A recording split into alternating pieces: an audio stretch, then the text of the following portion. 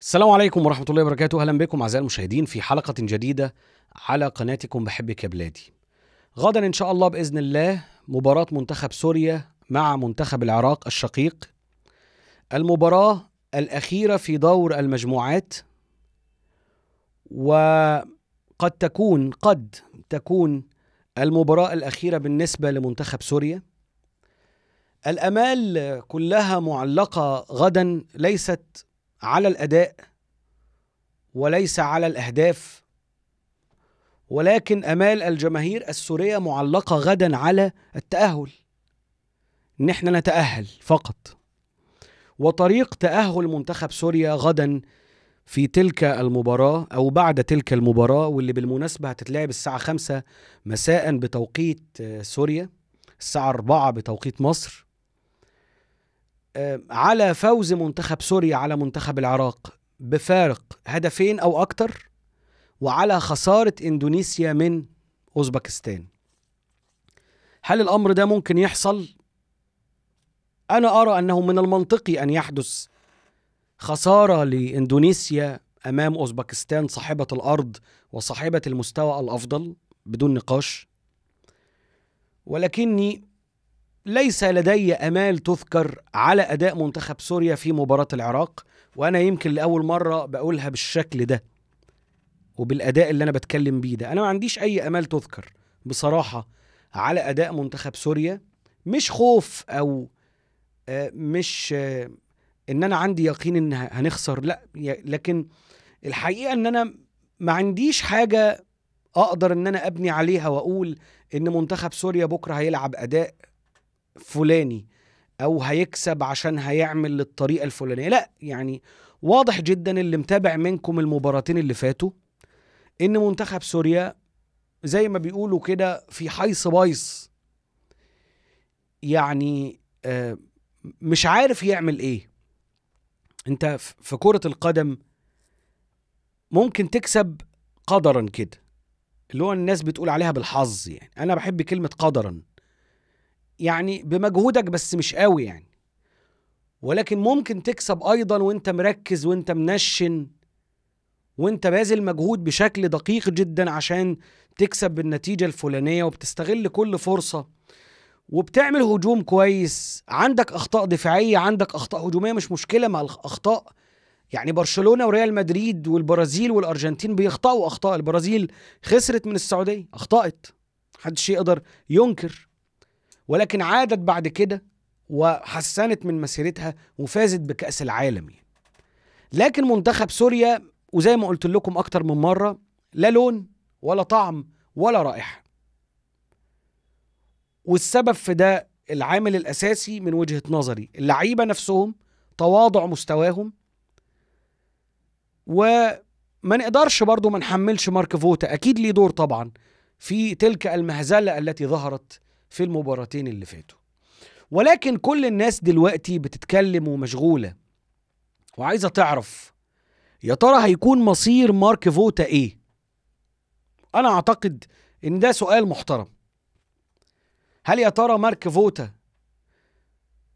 وطبعا فيلكو فان بورن هيسيبوا منتخب سوريا وخلاص هتبقى مسيرتهم انتهت على كده يعني؟ طبعا يقينا يقينا تجربة مارك فوتا وتجربة فيلكو فان بورن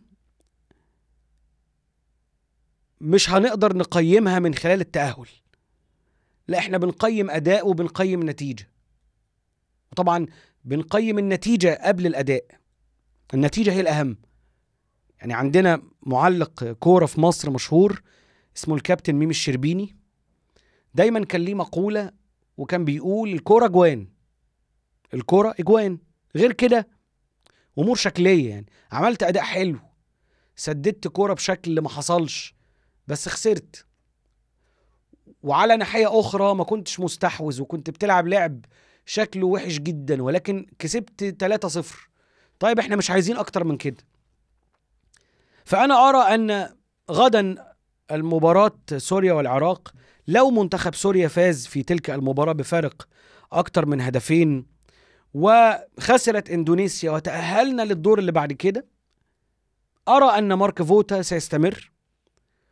سيستمر لأن الوقت ضيق للتفكير في مدرب آخر. سيستمر لأن مارك فوتا لديه العقد الأطول آه، مع منتخب سوريا تحت 20 سنة ومع منتخب سوريا الأولمبي. لكن أعتقد إن فكرة استمرار مارك فوتا خلاص دلوقتي ما بقتش منطقية في إطار إن هو يستلم المنتخب الأول. يعني الكل يعلم أن آه، هيكتور كوبر كمدرب لمنتخب سوريا الأول عقده على الأغلب لحد نهاية كأس آسيا اللي هو هيتلعب في شهر يناير فبراير 2024 يعني بنتكلم سنة هيكتور كوبر هيدرب سنة منتخب سوريا الأول. مارك فوتا هيستلم المنتخب أو هيصعد المنتخب بتاع الشباب والأولمبي؟ أنا ما أعتقدش إن الفكرة دي خلاص بقيت متاحة تحديدا وإن إحنا تعرفنا على أداء مارك فوتا. أما المنطق بتاع رحيل مارك فوتا فأنا أراه منطقا قد يحدث طبعا قد يحدث. لو خسر منتخب سوريا بكرة في مباراة العراق بغض النظر عن نتيجة آه، سوريا آه، أوزبكستان وإندونيسيا عذرا على الأغلب هيرحل مارك فوتا ورغم أن عقده أربع سنين إلا أنه هيرحل. هيرحل لأن الشارع الرياضي هو اللي هيقرر أن هذا المدرب لن يكمل مع المنتخب السوري. لكن بعيدا عن الأمور العاطفية وبعيدا عن وجهة نظر الجماهير السورية والتي نحترمها ونقدرها أنا لا أرى في رحيل مارك فوتا ميزة. سيذهب مدرب وسيأتي مدرب آخر. أقل في المستوى بكل تأكيد. سيذهب مارك فوتا وسيأتي مساعده على الأغلب. وفكرة وجود منتخب سوريا للشباب أو منتخب سوريا الأولمبي ستموت. وسنعود للتركيز على منتخب سوريا الأول. وسنهمل بقية تلك المنتخبات. لا نخلي مارك فوتا ونخليه يرعى هذا المشروع مشروع المنتخبات الخاصة بالفئات السنية. أما التوفيق ده من عند ربنا والنتائج يعني على حسب المجهود وتوفيق ربنا طبعا في المقام الأول. لكن رحيل مارك فوتا بكل أسف يعني لي أنا شخصيا انتهاء تلك المرحلة من المنتخبات الخاصة بالفئات العمرية وإهمالها لمدة لا تقل عن عام. من الآن إلى حين العودة لمسابقة أخرى. أو ما شابه ذلك فساعتها نقدر نفكر في عودة مارك فوتا مرة أخرى أو عودة مدرب آخر يستلم المنتخب السوري.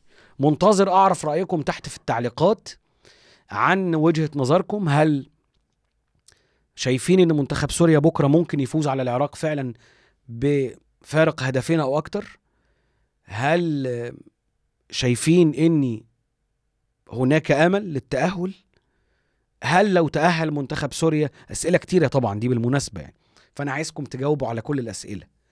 هل لو تأهل منتخب سوريا غدا هتكونوا مبسوطين ولا هتكونوا مش فارق معاكم؟ لأني يعني إلا بقى لو منتخب سوريا بكرة عمل أداء أسطوري. عمل أداء غير مسبوق. ده موضوع تاني. لو منتخب سوريا لعب بكرة بأداء ما حصلش وفاز على العراق مثلا بنتيجة 4-0 أو 5-0 ده موضوع يعني تاني خالص يعني.